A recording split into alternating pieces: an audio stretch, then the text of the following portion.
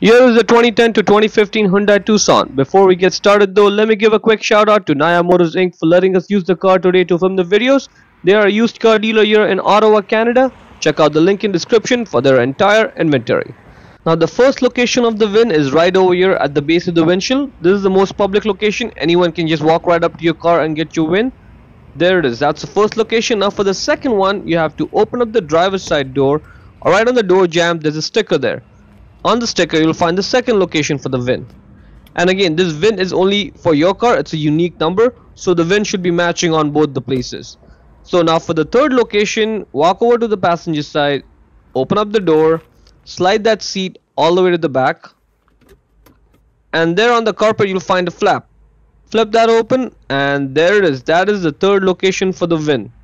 Stamped right there on the metal and that's pretty much it. Those are the three locations for the VIN on your Hyundai Tucson and hope you found the video useful